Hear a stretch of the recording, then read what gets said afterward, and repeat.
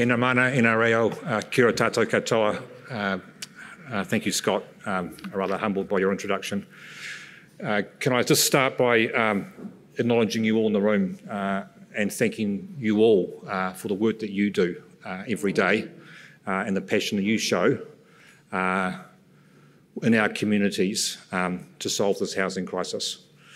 Uh, I know you all care about the issues that we face uh, that Kay's outlined. Uh, as I've said uh, to people in the audience today and, and other forums that I've spoke, spoken to as well, I care. Uh, and I believe together uh, we can take a system approach and we can solve this. Uh, and we can be in a situation unlike we have today, uh, where we have too many people on our streets. We have a risk of a generation of people who can't afford to live in a home. And we have a quality of housing which none of us in many parts of the country uh, can be proud of. Critically, uh, to Scott's point, uh, this is going to take a collective effort um, from all of us uh, to work together in a different sort of way. Uh, and when I talk about housing system, government plays an important part, uh, but iwi plays a critical role here. The community housing sector plays a role, as does local government, uh, the private sector, banks. Uh, and I'm not too sure whether I'm agreeing or disagreeing with Kay about whether it's complex or not. It doesn't feel straightforward, uh, but certainly uh, I believe that uh, I know the energy uh, is there for all of us um, to take a giant step forward uh, as we go as we go forward. I've certainly appreciated uh, the engagement I've had to date um, from many of you. Um, many of your faces in the room are familiar with me, familiar to me, and as I say, your passion and your drive to get a better outcome for, for our society uh, is palatable. Today, I want to just broadly focus on probably three things, I think, is where I've got to. uh, first of all, was giving you a sense of the institutional changes that are at play, which I believe are critical, uh, necessary, but not sufficient uh, in terms of how we go forward as a country in this space. I want to outline to you just some initial thoughts that I've got around uh, what a well-functioning housing system might look like. And I purposely talk about initial thoughts because if we're going to partner together properly, um, I don't have the answer, and I've given you some idea, given you some thoughts about what this might look like. And thirdly, I want to cover off um, how we might work together uh, going forward, because uh, at the end of the day, that's critical. If I start with uh, the institutional changes, uh, and I know some of you are familiar with this, but I just want to um, quickly summarise where we're at and also uh, talk a little bit more than I have in previous sessions about where we are uh, in terms of the ministry and, and, the capability we're building and where we are at a point in time. So there are two fundamental things going on, right? Uh, there's, there's the setup of the Ministry of Housing and Urban Development, which has been in place since 1 October. And we fundamentally uh, have a responsibility and a mandate that no other ministries had before uh, in the history of the public sector to own the housing outcomes, the housing and urban outcomes in our society. Often what's happened in the past is that when there's been housing issues, they often sometimes flick to the economic side or the social side, but housing and urban is front and centre in terms of what's, what's expected of this ministry. Secondly, uh, the government's also wanting to join up the delivery arm of, of, of what we do, uh, and that's the creation of an urban development authority, uh, just named Kāinga Ora Homes and Communities, and the legislation got introduced to the House last week, and the intent is to uh, set this agency up from 1 October this year. I'll just quickly talk about uh, the Kāinga Ora Homes and Communities, and I'll, then I'll, I'll, I'll, move back to uh, talking a bit more about uh, housing and urban development. So in terms of Kāinga Ora Housing Communities, as I say, uh, it, it's going to start from 1 October. Fundamentally, it's going to have two roles. Uh, it will be uh, a public housing landlord uh, and it will be the development arm of the government. So it brings together Housing New Zealand, HLC uh, and KiwiBuild. Uh, we're not waiting till 1 October. there's an establishment board already set up, chaired by Sir Brian Roche, and I'm on that we have already brought together uh, the development arm pieces of Housing New Zealand, HLC and KiwiBuild, and they are working as a virtual team uh, as of a couple of weeks ago. And we'll continue to ingrain that and develop that and ensure uh, that there was there is one door to the market in terms of how we in terms of how the Crown engages uh, in this space. There's lots of work to do to get things set up for 1 October. We've got to look at the board, chief executive, um, make sure we've got things in place um, that demonstrate that there is a different organisation in place uh, from 1 October, and we're frantically working to get that up and running. Uh, and I look forward to telling you more about that um, over the next few months. If I go back to uh, Housing and Urban Development Ministry, uh, I've said before that um, there are three things uh, that the ministers um, sat me down and said, Andrew, this is what I want you to focus on. And I'm not going to go too much about those, talk too much about those today. Uh, they're basically, we've got to be outward focusing. Uh, we've got to ensure that we understand the evidence base and decision makers get the right evidence and the right information. That doesn't mean we're experts ourselves, because many experts are sitting in the room, and one of them's to my right. Uh, and so we need to gather the information and knowledge from others. And the third thing is we've got to break the silos down, because it's disaggregated uh, and it's fragmented, and we've got to sort that out. So we've taken that objective of what the government wants for a ministry to own the outcomes uh, and taken uh, how, how the minister wants us to operate and developed some foundations for the ministry. I want to talk to you a bit more about that today. So, first of all, we've developed a purpose, and the purpose um, I'm really proud of. It's uh, thriving communities where everyone has a place to call home. So, fundamentally, this is about communities. It's about homes, it's not about houses uh, and it's about how we work together with you all to get better outcomes in our communities, of which there are broader outcomes we all aspire to um, in terms of um, broader wellbeing objectives. So that's, that's the purpose of how we see the work that we do as an organisation. We've come up with a set of values, uh, and there are three of them. Uh, the first one's drive. Now, drive often can mean different sorts of things, um, but the words I'm, the way I'm interpreting that, it's about action. We've got to do some things with you together, both in a shorter and a long term sense, because things need to change, they need to be fixed. And we're going to have to drive some change with you. The second value uh, is empathy. Uh, don't think I need to say much too more about that, but that's the organisation that I want to build and want to be working with you all because that's, to me, at the heart of a lot of what we're trying to do here. And thirdly, uh, curiosity. Uh, we need to ask questions and learn from you all because many of the answers, frankly, are sitting in rooms like this. Uh, and so we need to be a curious organisation. Um, the worst thing we can do is think that we have the answers. Uh, so drive, empathy and curiosity uh, are the values that we will operate to and aspire to be uh, as an organisation. We've also uh, come up with five principles of how we're going to operate uh, and again, I think if you, if you, take these principles together, um, they give you a sense of what I think this really means in practice in terms of how I'd like this to play out over the years ahead. So first, the first principle, it's long term. We need solutions that are going to stick. There's been too much short-term stuff play out in the space, band-aid solutions that don't work. So we need to work with you to actually ensure that we have stuff in place that is long-term because that's where we're going to get uh, the real gains that matter. Second principle is system wide. Uh, as I said before, it's not about just government, but it's, it's about all of us and the system wide. And my, my book is about how we all work together and take a collective view of, and a transparent view of what's going on. Our third principle is people centric, because people's aspirations need to be at the heart of everything that we do, because that's what it's all about. Fourth principle is treaty anchored. I want our organisation to be a genuine treaty partner, and we need to ensure that that's at the core of everything that we do, how we think, and how we act. And our last principle uh, is whenua based. Uh, people's identity arises from the place, and it's really important as we go forward that in the work we do, we take a place based approach to things uh, and support locally owned solutions.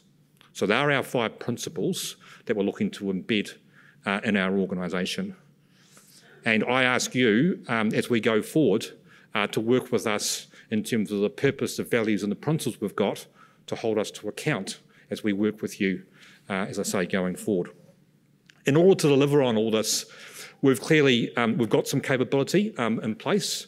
Uh, we are the amalgamation of effectively four parts of government. Uh, there's the public housing piece, and Scott Gallagher's here today as the Deputy Chief Executive. Uh, so he was an MSD, so that's come part of the new ministry. Uh, we've also got uh, the policy piece that um, has come over from MSD. Uh, and um, we've got Kiwi Build that will transfer over to uh, Uh, the new Kāinga Ora Homes and Communities. Uh, and we have uh, the policy piece from MBIE um, in terms of the economic side of the ledger, the work they were doing. So we have some capability. We've got really good capability. To deliver on what I'm articulating, we, we also need to build some other capability and we need to develop, develop a, a, culture along the lines of what I'm talking about. So we've got a, as I say, we've been in place since 1 October. We've got a new structure uh, that is going to kick in from 1 July. Uh, and so the new leadership team I'm, will be in a position to announce that to you uh, in the next week or so. Uh, and I'm really pleased and proud of the people uh, that we've got on board uh, to help me uh, work with you as we, as we, as we go forward. The, the leadership, uh, sorry, the, the structure of the organisation, at one level I don't want to bore you with detail, but I do just want to let you know what, what it is because I think it reflects what I've just talked about, but also what I'm going to say about what a well-functioning system looks like. So there will be a group called System Performance. There will be a group uh, which is about the system, housing and urban settings, which is about the core foundational policies that will need to be put in place. There will be a group called place-based programs. Uh, and there'll be a group called Te Kahu, sorry, Te Kahui Kāinga Ora. Uh, we are effectively building a Maori housing unit in the organisation uh, that reflects our commitment to being treaty anchored and reflects our commitment to delivering on outcomes for Maori because they need to be improved and the outcomes for Maori are not good, as many of us know. And, the, and, and we also have, as I say, uh, Scott's Group um, Public Housing Supply in terms of the delivery piece, which many of you work with. So we're very much into uh, uh, the next phase. Uh, I wouldn't so much call it a reset, but it's a, it's the next phase of the development of our internal journey. Um, there's a lot of work that's gone on over the last nine months um, as we've been both building the organisation and alongside that working with the government uh, on their critical priorities. I'll just turn to now to just talk quickly a bit about, because um, this is the bit that Scott might have asked me to talk about, uh, the, uh, the, the elements of a well-functioning system. Know, I do think the word system can be a bit overused, uh, and I, I, jokingly sometimes say it's the most overused word in the public sector. Um, but but I but it, it's and certainly just like the word strategy. But I just want to put some meat on the bones around uh, what I think system, so well-functioning system means in this in this in this case, and hopefully building on some of the thoughts uh, that Kay's articulated to you. So in, in my mind, um, and I'm, again, I'm happy to talk to you about this and get your thoughts about this, but there are probably four reasonably critical elements to this that do into play. So the first one is ensuring that there are reforms in place, in place or best practices put in place uh, that are system-wide. And that's sort of often your legislative program, things like the Healthy Homes work the current government's doing, things around like the Residential Tenancies Act, uh, the building laws that, uh, that Kay's referred to, uh, work on the urban um, growth agenda, those sorts of things. So that's one part of, uh, of having a well-functioning system is making sure those things are relevant, best practice and up to date, that cross-cutter system. The second element is ensuring that we introduced a place-based approach that identify specific strategies and solutions that are tailored to particular locations and markets. And we need to be transparent about what we're doing and how we're working with you in this space. Now, I believe this is pretty fundamental to how we go forward. Uh, and I'm not suggesting we don't do things in place now, we do, but I think we need to do it at a different level, us collectively understanding and owning uh, what is happening in different places of the country and how do we work together. We are piloting this in Hastings at the moment. Uh, we chose Hastings because it has the highest increase in the public housing register over the last year. Uh, and we're working with uh, the local iwi and local council to collectively understand the housing issues at play here and how can we actually um, solve them together. And I'm really encouraged by the work that's going on there, and you'll hear more about that. But it's that sort of concept that we need to work out and, and work with you all across the country. So again, we just need to know what's happening across the continuum in different parts of the country, understand demand, supply, what the problem definition actually is in different parts because it's not the same. Um, how do we? What's the funding that's going on? Um, who should do what? Uh, and ensure that we've actually got clarity of roles uh, as we go forward. The third area, in terms of having a well-functioning system, we do need some delivery plans. Now, that might sound a bit mechanical, but actually we need action and we need clarity about who's doing what and why they're doing it. And ensuring that both government resources and local resources and accountabilities uh, are all understood uh, as we go forward. Now, I'm not, I'm not standing here suggesting that this is easy. Um, I am, I do believe it's a shift, uh, but I believe it's fundamental uh, to where we need to go to uh, as we go forward. The fourth piece of the picture is that we can't stand still here. Um, things are going to change and adapt. We are in a society that things move around all the time. So, market intelligence and monitoring progress and the outcomes that we want needs to be front and centre as well. So that we can tweak things, adjust programs, and make sure that the funding um, occurs in the right places at the right time. So, what I'm hoping is that, um, as I say, to talk to you and discuss with you a bit about those elements. But if we have these things in place, then I think we're far better placed. Uh, it's not great language, is it? We're far better, in a far better situation um, to improve the outcomes that we want.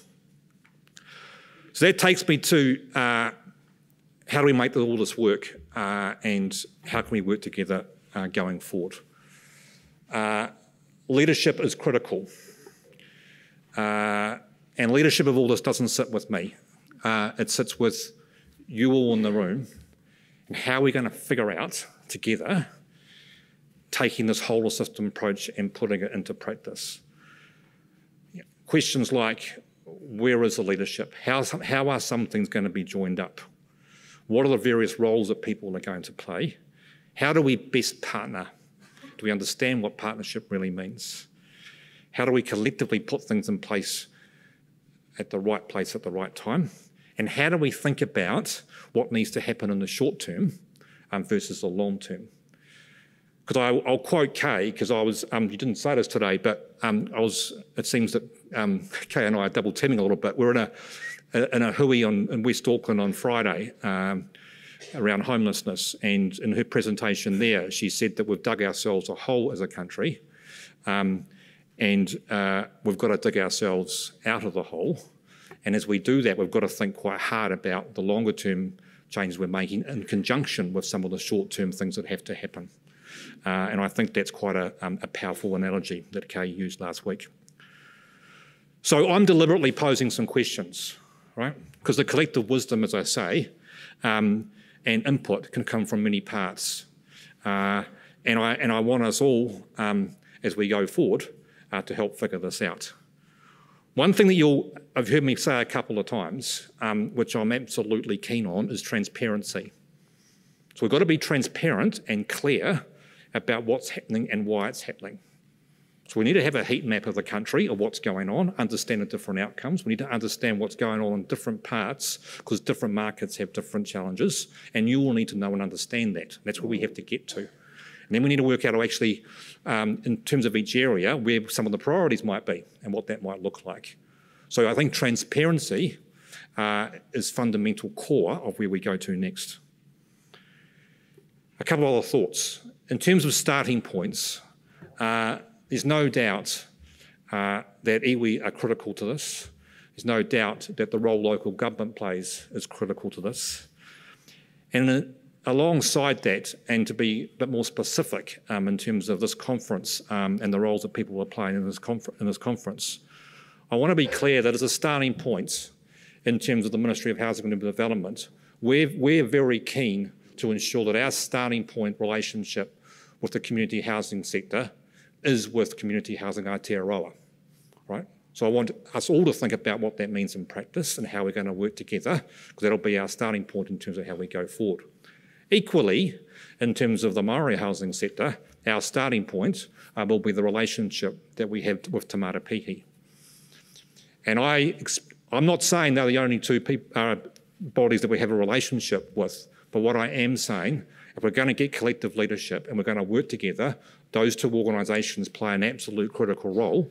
And as we go forward from 1 July, I will personally invest and our organisation will personally invest in ensuring uh, that those organisations with us are working together um, to get the system-wide view into, into action.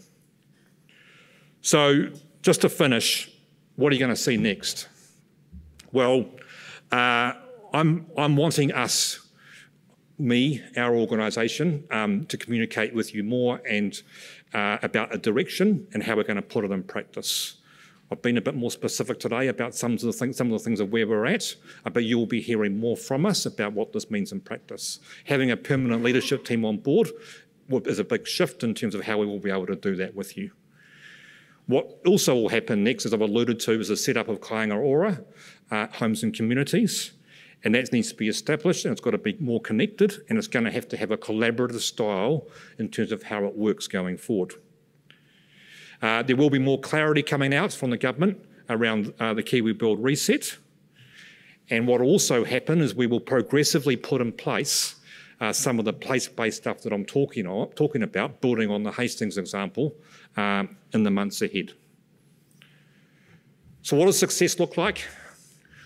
In terms of a well-functioning system, at one level, uh, it's about how, at any point in time, we understand the housing and urban picture in a strategic sense right across the country and what's going on.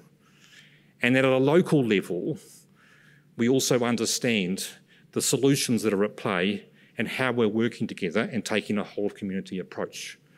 And at any point in time, uh, we are moving things around and shifting things depending on what we understand and what our people need and want in terms of what the, uh, the intelligence and the market is telling us. At another level, there's something far more fundamental. It's about ensuring that we do have thriving communities where everyone has a place to call home. There is no quick fix. Uh, however, uh, this is a massive opportunity uh, that we all have because I personally believe um, that we can put in place uh, sustained change. If we can work together, and I know we will, uh, and understand the issues at play and work out a way forward. Thank you very much. I look forward to working with you. Uh, nā rewa, tēnā koutou, tēnā koutou, tēnā tātou katoa.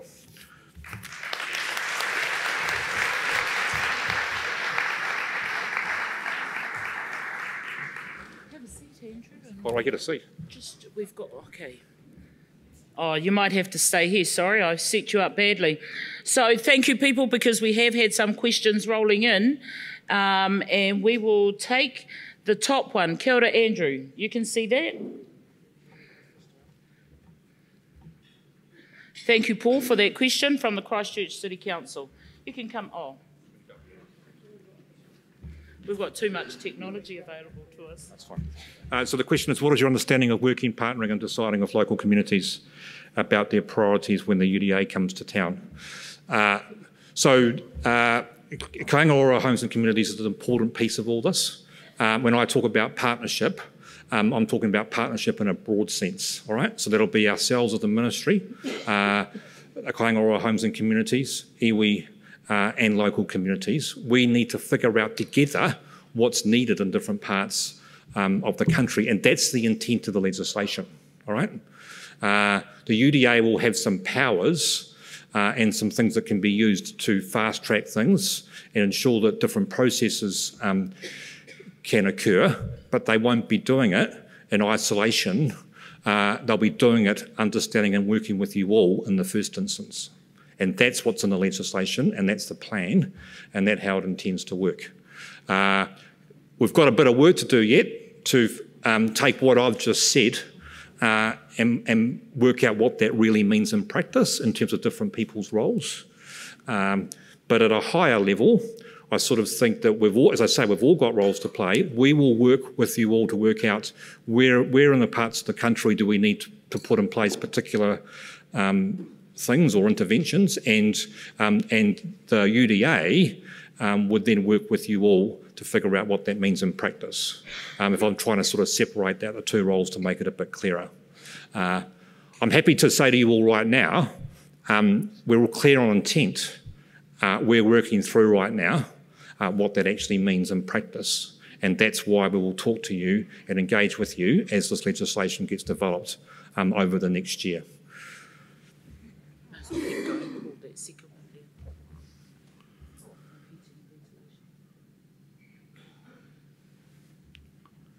Uh, questions, quality housing as a human right would include um, some minimum expectations like heating and ventilation, given the current building code largely requires neither how or how to address this. Well, there's, there's a lot going on in the space um, at the moment in terms of the, what, the, what, the, the, what work the government has done around uh, healthy homes and the work that it's doing also uh, around the Residential Tenancy Act.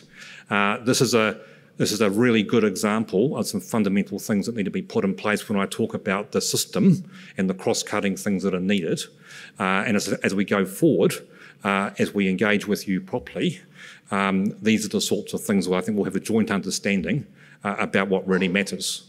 I think what's gone on in the past, we probably haven't had a joint understanding at any point in time about the critical things that are needed, uh, such as, um, you know, basics around ventilation and heating.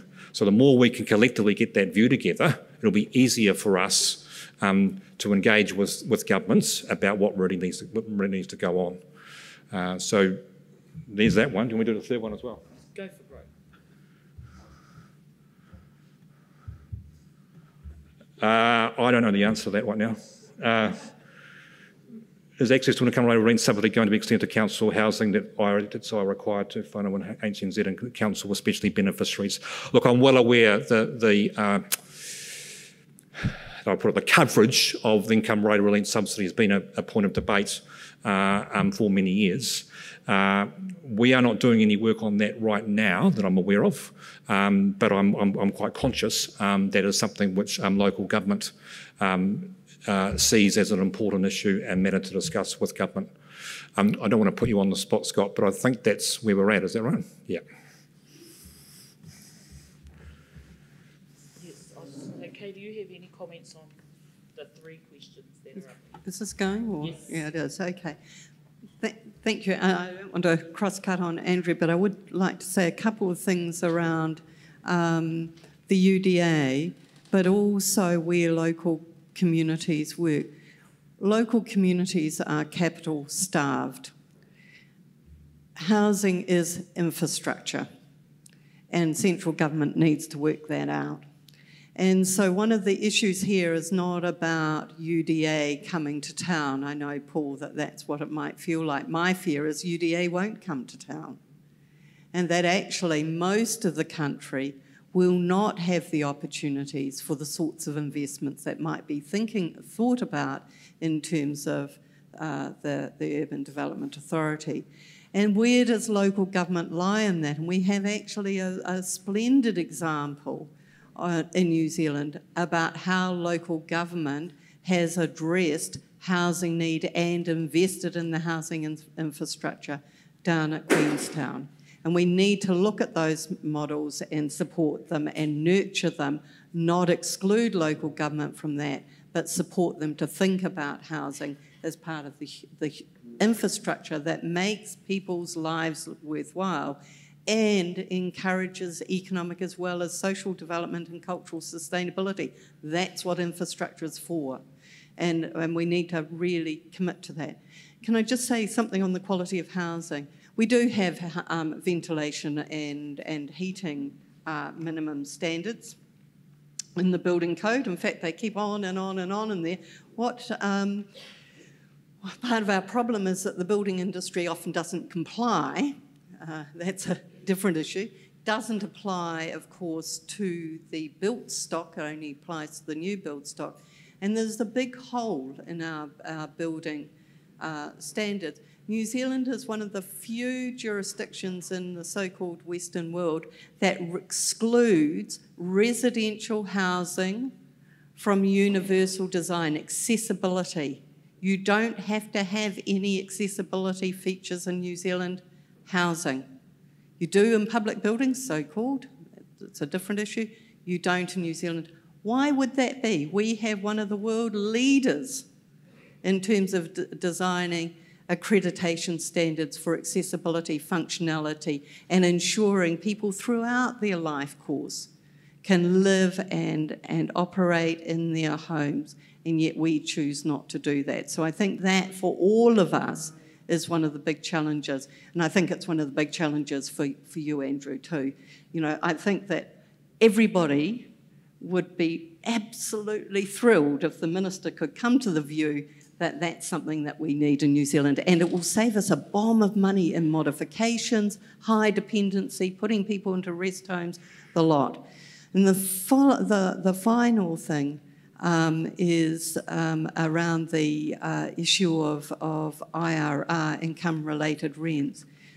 I have mixed views around this.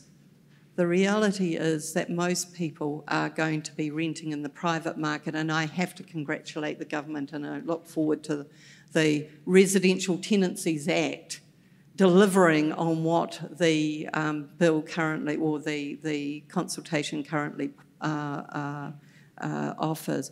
But the reality is, for people in rural areas, for people in, uh, in provincial towns, actually home ownership. I'm not a great believer that home ownership is the best and the only way you can get good housing, but in New Zealand it is actually. That's the experience.